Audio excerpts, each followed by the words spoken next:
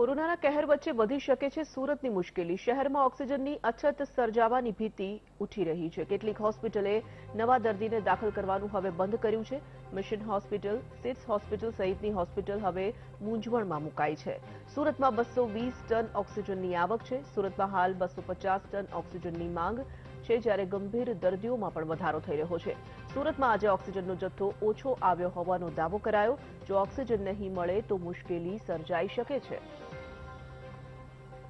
સુરતથી સંવાદદાતા આનંદ પટણી જોડાઈ ચૂક્યા છે. આનંદ, સુરતમાં કોરોનાનું સંક્રમણ ભયજનક સપાટીએ પહોંચી ચૂક્યું છે ત્યારે વધુ એક મુશ્કેલી હવે ઊભી થઈ રહી છે. ઓક્સિજનની અછત વર્તાવા લાગી છે અને હોસ્પિટલે નવા દર્દીઓને દાખલ કરવાનું બંધ કર્યું છે.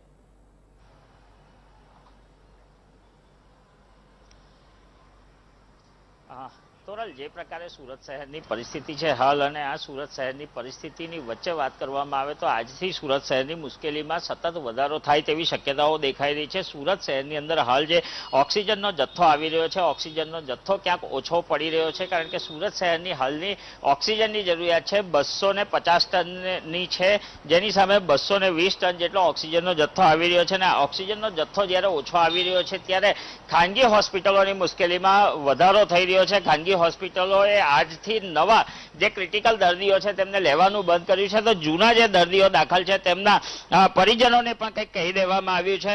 સર, કેટલા દિવસથી તમારા દર્દી અહીંયા દાખલ છે? કઈ પરિસ્થિતિ છે ને શું કહી રહી છે હોસ્પિટલ અત્યારે? અત્યારે અમારા દર્દી દસ બાર દિવસથી દાખલ છે.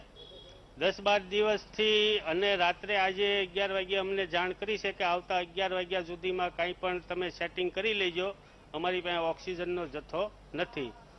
તો અમે બધે જાણ કરી પણ કઈ જગ્યાએ બદલાય એવી કોઈ પરિસ્થિતિ નથી અને કઈ જગ્યાએ ખાલી પણ નથી બેડ. બધે અમે ફોન કરીને પૂછ્યું તો અત્યારે અમારે શું કયા પગલાં લેવા? જી, ચોક્કસ. દર્દીના પરિજનો પરેશાન છે. અને એક દર્દીના પરિજન પણ આપણી સાથે છે. કેટલા દિવસથી તમારા દર્દી જે છે અહીંયા દાખલ છે? શું કહી રહી છે હોસ્પિટલ ઓક્સિજનને લઈને અત્યારે? ત્રણ દિવસ ત્યાં દાખલ છે. બરોબર? એટલે કાલ સાંજે અમને કહેવામાં આવ્યું છે કે ભાઈ ઓક્સિજન ઓછું છે.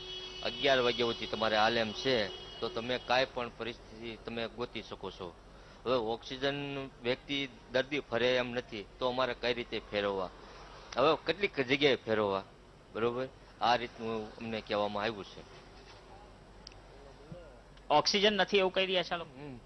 ઘટ છે કે ઓક્સિજન અગિયાર વાગ્યા સુધીનો જથ્થો છે.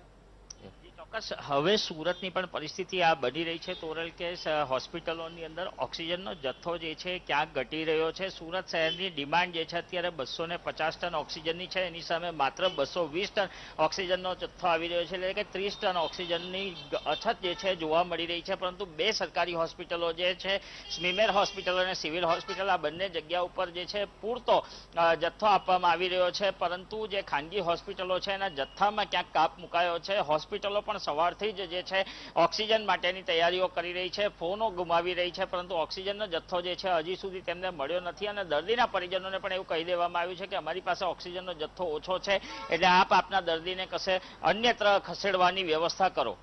તોરલ.